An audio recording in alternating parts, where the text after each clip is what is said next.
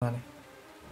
Bueno, chicos, bienvenidos un día más al canal. Eh, ya se habrán enterado de lo del tráiler de la nueva película de las Tortugas Ninja. Yo soy Tito, aquí Phineas. Y Phineas es un super fan de las Tortugas Ninjas. Bueno, no super fan, no super fan. Él es, él creció viendo la, la serie, yo también. Aunque tampoco soy mega super fan. Hemos jugado a los, los videojuegos. Y bueno, a ti te hizo ilusión porque yo le mandé una foto y, di- y dijo que él había visto un artículo donde iba a salir una nueva película de Tortugas Ninjas y que le había emocionado porque él la quería ver. Pero yo luego Claro, le pasé, sí. yo luego le pasé esta foto que ven en pantalla y me ha dicho Phineas que le que le arruiné la película. A ver, Phineas, explícanos por qué. Yo ayer vi la noticia de que iba a salir una nueva película de Tortugas Ninja y dije, oh, qué bueno. Encima animada, para más. Claro, mejor. Para, oh, Dios, va a tener, va a ser brutal. Como soñaba con una película como estilo Mortal Kombat, Mm, que son así bastante gore. bueno, la de los Y 90. dice, bueno, y dice, no, pero las animadas, las animadas. Ah, vale. Pues sí, que sea gore fiel como al, al cómic. Que no, no es verdad que el cómic Claro, son violentos. Sí, eh, sí, sí, sí, Sí. Son, son violentos. Hay, de hecho, vi una película de las animadas de los 90 de las Tortugas Ninja hace poco y estaba bastante bien. Ok. Bueno, las tortugas eran más violentas al principio, cuando los cómics cuando empezaron, pero, pero bueno. Eh, el caso, cuando hoy me pasas la foto, me he dado cuenta y me he acordado de, de los tiempos que corren en los que vivimos y que todo tiene su cuota, todo tiene su parte política y he dicho, bueno, quizás no sea tan buena la película. Lo- Claro. Ya la, ten- la tendré que ver para juzgarla realmente, Sí. pero Yo quiero hacer una cosa hoy como experimento, para que no sea esto el típico canal donde estamos en una burbuja y solo se ve un, un lado, ¿no? Me voy a poner de abogado de diablo. Y me voy a poner ahora como rol de abogado de diablo, como si fuese yo aquí eh, alguien woke. Y te hago las preguntas, y a ver, tú me las defiendes. vale, Tú estás diciendo que no te gusta que sea una negra obesa ahora la April O'Neil. Prefieres que sea blanquita, sexy, pelirroja como en la serie animada. sí, prefiero que sea así, ¿Por qué? porque así la crearon, el que la creó, y eh, me gusta a mí personalmente más. Sí, prefiero una, una chica sexy y pelirroja a, a lo otro. ok, claro, porque tú eres un hombre Sí, hetero- blanco yo soy- heterosexual Sí, sí, y es lo que tú es lo que tú quieres ver, claro.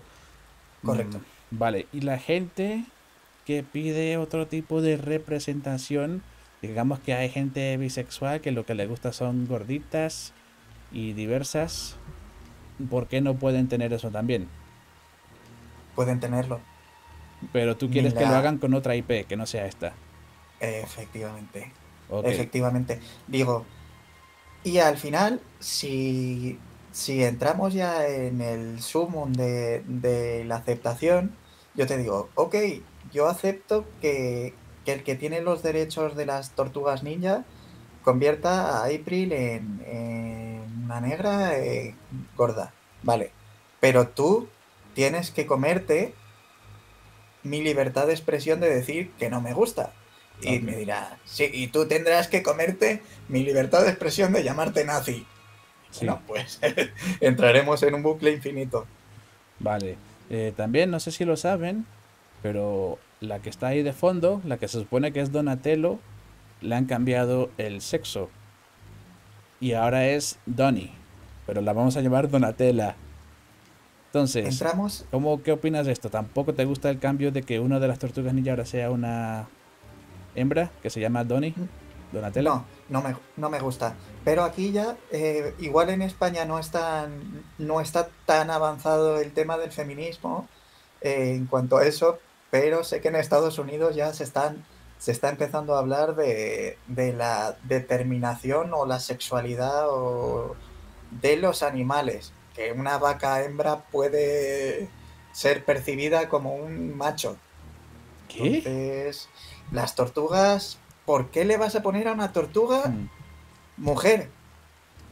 No sé, es una, es una fantasía, ¿no? Solo es un cartoon, no hay que Ya, pero, sobrepensarlo mucho. pero el, persona, el personaje no era así, ¿no? Ok, ya, sí. ¿Pero es una mujer o es un hombre con... Es una chica adolescente. es una chica? Sí. ¿No es su autopercepción de sí misma No, no, no, como no, literalmente es una chica. Vale, nació, nació hembra. Sí, Eso me parece mejor que, que, que sea un, un chico con autopercepción femenina. vale. Entonces, esto, tú dirías que esto de poner a April O'Neil como una mujer negra con sobrepeso es para complacer a ciertos grupos. ¿Una cuota? Sí. Sí, para una cuota. Ok. Entonces, Pero mi- una- la cuota, la cuota, bueno, eh, la cuota básicamente es los negros y ya eh, te ponen aquí y le ponen con sobrepeso para... Sí, no porque ahora lo que quieren es que se representen a las mujeres de manera realista. Ya sabes que también aquí lo sabes perfectamente con nuestro Ministerio de Igualdad, sí, las sí, sí. feministas que están en contra de todas las publicidades, en plan mostrando a la chica con un bikini, ¿estás lista para el verano? ¿Sabes? Porque no son, porque para, para ellas son cuerpos imposibles de conseguir. Entonces de ahí la pregunta, si son imposibles de conseguir, ¿cómo está la chica de la publicidad con ese cuerpo? Pero bueno, esa es otra cosa. Aparte, se supone que yo estoy de abogado del diablo. Si es para, ok, cuotas, dices tú. Y yo esto lo estoy pensando. En los años 80, 90, no se podría decir también que cuando hacían personajes femeninos sexy para el público eh, adolescente varón, que es lo que era, no se podría decir lo mismo sobre esos personajes, que eran cuotas también. No están haciendo hoy estas empresas woke lo mismo para lo que ellos perciben como su target. Lo que Sí, efectivamente. Ok, ¿entiendes Sí. la pregunta? Sí, no deja de, el, el cine y, y- y todo esto no deja de ser una industria hecha para ganar dinero y la gente, para contentar a la gente que en diversas épocas tiene diversos pensamientos. Es una moda, ¿no? Claro. Eh, En los 90 se llevaba eso, pues ahora en los 2020 pues se lleva esto. Sí, en ¿Quién lo va a 2020 se- en, en Occidente se está llevando mucho. Mira, los juegos que hace Sony occidentales hacen un énfasis en que todas se vean. Bueno, voy, a- me voy a pasar aquí un poco de basado, pero es, voy a ser honesto en este canal. Y el que le guste, pues ya sabe. Las hacen feas. No es que las hagan realistas, las hacen feas directamente. Ellie de Last of Us 2, la de Horizon Dawn, Oh, la de en Returnal. Aloy. Exacto, todas las hacen feas a propósito porque ellos dicen, no, porque así son las mujeres realistas, reales, no son las modelos de Victoria's Secret. Y es como, wow, los woke a veces también pueden ser basados porque creen que las mujeres son así de feas por naturaleza.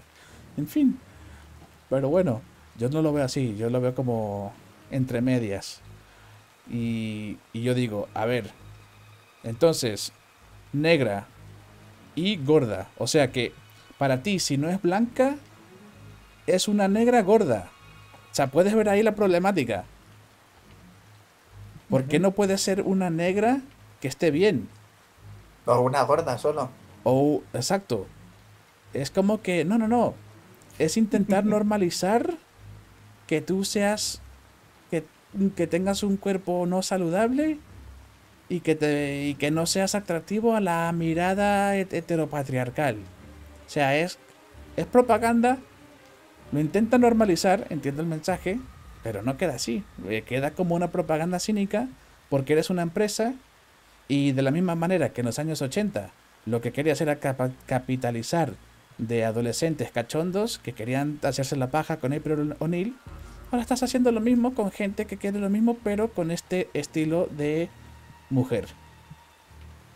Entonces, Y- así es como lo estoy viendo yo porque me decías la frase tú, la de get woke, go broke. No sé si la habrán escuchado y yo estoy empezando a dudar de esa frase, digo, porque si tú haces algo woke y luego estás broke, broke es que no has ganado dinero, tú no lo sí, vuelves, tú- pero- tú, no lo vuelves a hacer.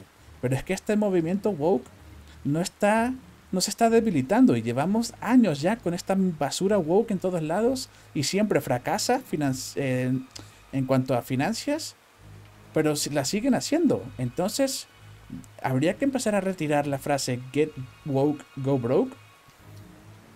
Pero yo creo que la, eh, la frase es más utilizada en no broke literal, sino si haces algo woke, no vas a tener éxito a nivel comercial. Pero es que no lo tiene, pero lo siguen haciendo. Ya, ya, bueno, pues porque hay una serie. Claro. Hay, una propuesta a nivel gubernamental tan heavy porque estas, estas cosas no son cosas de, de determinado país. Hay, o sea, esto viene por parte de Europa, de Estados Unidos, eh, a nivel, Viene de Estados Unidos, claramente, toda esta decadencia. Sí, pero quiero decir, cuando en España se hace una, se adopta una medida muy claramente de género es porque viene impuesta desde, desde Europa. Oye, tenéis que tener un 40% por lo menos en las grandes empresas de mujeres. Así es. Acaban de pasar la ley en España de paridad en las empresas. Efectivamente. ¿Tú no crees que, que España dirá, cada uno en su empresa que tenga el que quiera, pero el que te da la money te está diciendo que lo hagas, así que te toca tragar y, y ser un maldito vasallo, ¿no? Un vasallo de Europa y, si fuésemos... Yo lo llevo diciendo hace tiempo ya, que España es un estado vasallo, esto no es un, esto no es un país soberano. Claro. Esto es un país vasallo de Estados Unidos. bueno, sí, de la Unión Europea, pero es que es más de lo mismo. La Unión Europea. Sí, por eso hablaba de Europa y de, y de Estados Unidos y que al final es, es, es parecido. Eh, eh, a ver, vamos a centrarnos un poco más. Sí, vamos a centrarnos. El point era que, con lo que yo estaba diciendo, que sospecho que esto no va a triunfar tanto como poner a, a la April O'Neil original, porque estas empresas aún no saben que el mundo real no es Twitter. Que o sea, están haciendo cosas, son ejecutivos que no tienen ideología, solo les importa el dinero, solo se basan en en estudios de mercado y en hashtags. Y ven que, ah, esto nos va a dar buena imagen políticamente correcta, vamos a triunfar en Twitter, ergo vamos a triunfar. Entonces, no hay manera de que, de que aprendan. Siempre van a decir go broke, go broke, go broke, pero ¿a qué le, qué le importa a este estudio go broke? No sé qué estudio es, si Paramount o Warner, no sé qué, qué más da, si tienen dinero infinito, básicamente. Y que también, esto ya es opinión mía, una teoría mía, es que al ser todo esto de Estados Unidos, de California, de toda esta, de la élite progresista, que tiene tanto dinero, que te da absolutamente igual. Lo que a ti te importa es hacer tu propaganda y que poco a poco cale el mensaje y vayas ganando adeptos. Adeptos. Exacto. Y así lo veo yo. Y en vez de hacer una, es como tú decías, podríamos hacer una IP nueva con una negra gorda lesbiana o lo que queramos, sí, pero ¿para qué? Si podemos coger una como Teenage Mutant Ninja Turtles, que ya es súper exitosa, hacemos esto que encima va a tener publicidad negativa, como la que le estamos haciendo tú y yo hoy, la vamos a ver para jetearla, pero ellos dirán la típica frase mítica de la publicidad que es, da igual mala publicidad que buena publicidad, lo importante es que estén hablando de ti. Es lo que hacen todas estas de la que salen en la tele en el corazón, en los programas del corazón. ¿Qué te crees tú? ¿Que no lo saben? ¿Qué te crees tú? ¿Que, que no se están llevando un buen dinero para que tú en tu casa le estés llamando de todo? Claro, si hay gente que se, que se gana la vida como influencers, ¿no? Por, generar un tráfico enorme de, publicidad, pues esta gente con, con, igual, con todos esos tweets y, todo el tráfico y noticias que generan. Exacto. Entonces así es como lo veo yo. Esto es puro bait. Esto es puro esto. Vamos a ver si vienen los, los que ven esto como de manera de representación que está muy guay y de manera no irónica y a la vez lo van a ver los fans antiguos de los años 80 en plan, miren cómo destrozaron mi, mi querido Teenage Mutant Ninja Turtles de la, de de mi nostalgia y tal, de mi infancia. Y, sale, y es un win-win, lo ven como un win-win. Y para ir acabando, dices que es, que es homosexual, April. Exacto. Eh, ¿Tú harías otra apuesta de que, aparte de negra y gorda, va a haber alguna escena en esta película donde diga su sexualidad, su orientación sexual? Creo que sí. Y que si la dice claramente no va a ser hetero. No, efectivamente. Creo que puede haber un comentario de, oh, me está llamando mi novia. Sí. y, por ejemplo. Y de la Donatella también, ¿no? Y de Donatella, eh, una de las dos. Claro. Puesto porque una de las dos es es homo. Homo o bi. O, o le gustan los coches. Ya. Em, así es. Entonces, ya para ir acabando. ¿Importa si la película en realidad no tiene ningún mensaje woke? A ver, para, para mí, para empezar, ya, ya esto que hemos visto es woke para mí. Sí, a ver. Y es suficiente como por- para, para. No para boicotearla ni nada, porque yo no creo en boicots, pero si es como, si es lo que tú dijiste, ya me dan ganas de no verla. Porque ya estás metiendo cosas eh, extra. ¿Cómo se dice? Extracurriculares. Por así decirlo. do- dos de cinco protagonistas ya están cambiados. Exacto. Entonces, Dices, amigo, pero estás más centrado en, en política. Luego dicen que nosotros somos los obsesionados con política. No. Estás obsesionado tú con política para hacer una película animada que en la historia de la película o de respetar a, a los personajes. Es No, que- o es sea, que si tú no lo haces, falta- tú- esto, es- eso es un statement político. Si tú haces un statement, yo lo voy a responder. Y ya está. Ya está. Y si eso crea crispación y polarización, pues deja de hacerlo. Y no, y no hablaremos de eso. Ya está. no me hace falta ver la película, no he visto el tráiler para decir que esa Donatella, cuántas bromas va a hacerles o cuántos comentarios va a hacer de chicos, es que como ¿por qué sois tan desordenados? ¿Por qué Ujú. O sea, lo dejáis todo así? Va a ser eh, continuas referencias así. Claro.